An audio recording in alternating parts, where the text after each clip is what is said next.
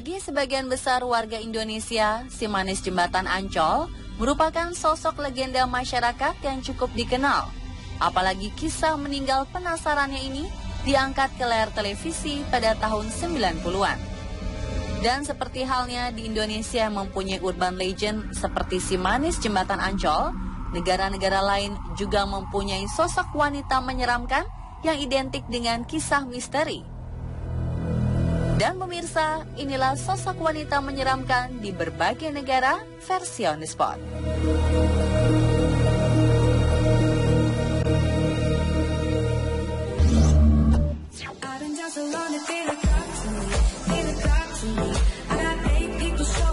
Korea Selatan dikenal dengan keunggulan kosmetiknya. Dan seiring berkembangnya K-pop, kosmetiknya pun menjadi kian populer.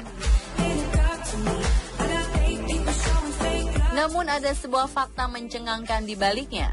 Ternyata sebuah urban legend mengerikan muncul akibat dari keinginan untuk tampil lebih cantik yang dikenal dengan kosmetik sesame. Diceritakan pada suatu waktu, ada wanita yang sangat tergila-gila dengan kecantikan. Sang wanita mengikuti satu cara agar kulitnya menjadi semakin mulus dengan menggunakan metode biji wijen. Namun yang terjadi kemudian bukan mempercantik, metode menempelkan biji wijen ini malah memperburuk kondisi kulitnya. Seluruh tubuhnya menjadi menyeramkan, karena kulit yang memerah dan muncul bintik-bintik hitam seperti biji wijen sedang tumbuh di dalamnya. Wanita ini akhirnya menjadi gila. Untuk membantu anaknya, sang ibu mulai mencongkel biji wijen dari dalam tubuhnya. Akan tetapi anaknya malah meninggal dunia.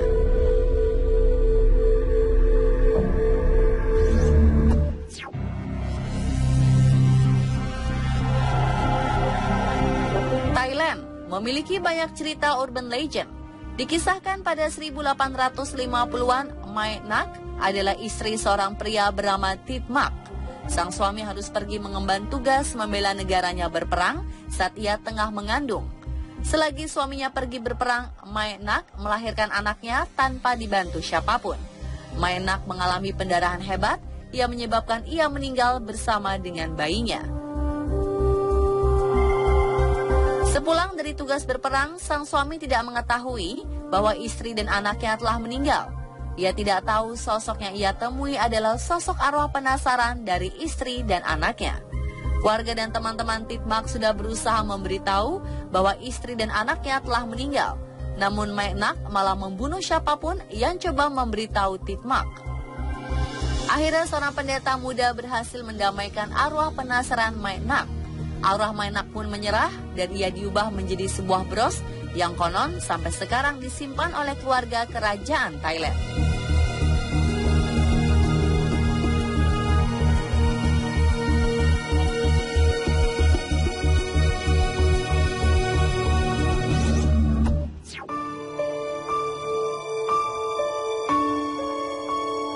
Berikutnya adalah urban legend yang dikenal dengan nama Zashiki Warashi atau disebut juga dengan Zashiki Boko.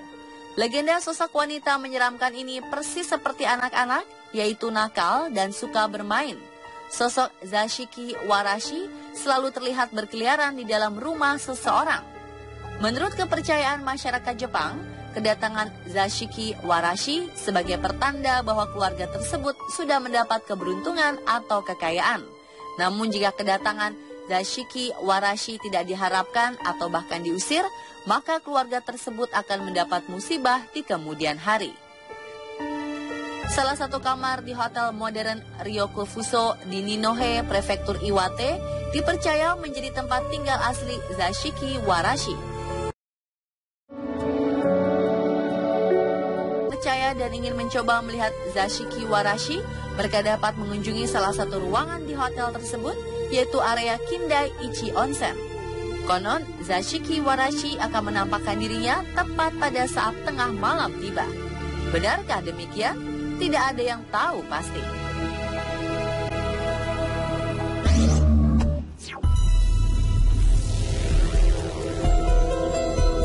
Berikutnya adalah La Llorona. Dalam bahasa Indonesia, La Llorona berarti wanita menangis. Sosoknya adalah legenda yang sangat populer di Meksiko dan Amerika Tengah. La Llorona sendiri adalah seorang wanita cantik bernama Maria yang membunuh anak-anaknya dengan menenggelamkan mereka. Setelah melakukan hal tersebut, Maria langsung bunuh diri. Berdasarkan cerita setelah kematiannya, jiwa Maria ditolak di depan pintu surga karena tidak membawa serta ketiga anaknya. Ia lalu turun kembali ke bumi untuk mencari anaknya.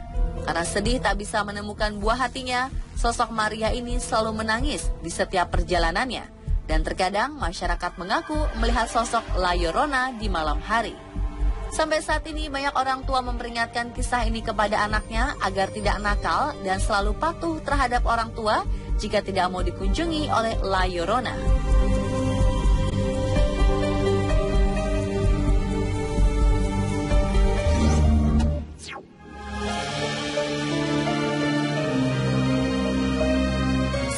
Adalah urban legend yang dikenal di Rusia dan Ukraina.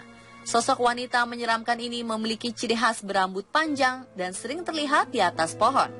Berdasarkan cerita masyarakat, sosok Rusalka meninggal saat dirinya membawa anak yang tak diinginkan atau saat melahirkan anak yang tak diinginkan.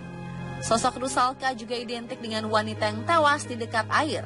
Ia akan muncul dari permukaan air atau terlihat di atas pohon pada malam hari.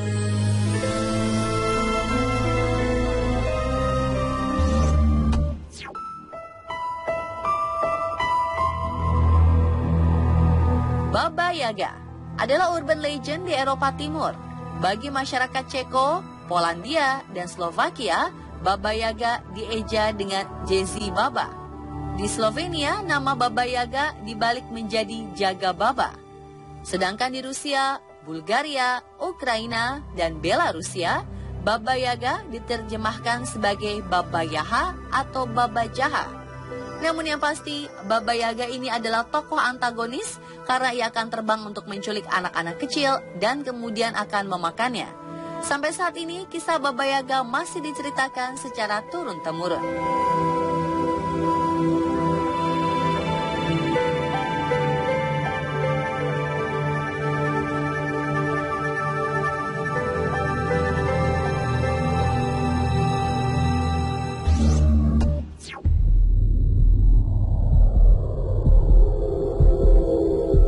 Nago, yang juga dikenal sebagai Haryona, adalah sosok wanita menakutkan dalam mitologi Jepang. Secara harfiah, namanya berarti perempuan berduri.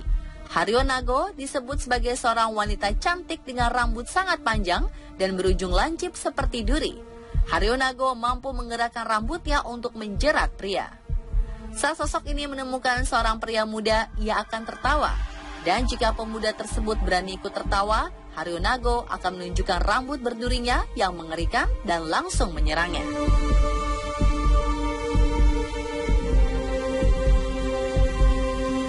Dan pemirsa Tula Urban Legend berupa sosok wanita menyeramkan versi on the spot.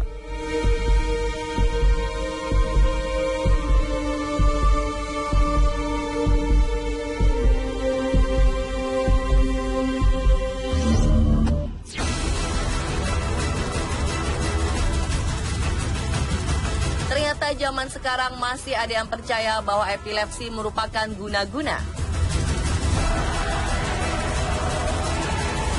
Bagaimana dengan penyakit kusta dan gangguan kejiwaan? Apakah juga diakibatkan oleh ilmu hitam? Saksikan informasi selengkapnya sesaat lagi hanya di On The Spot Kamis Misteri.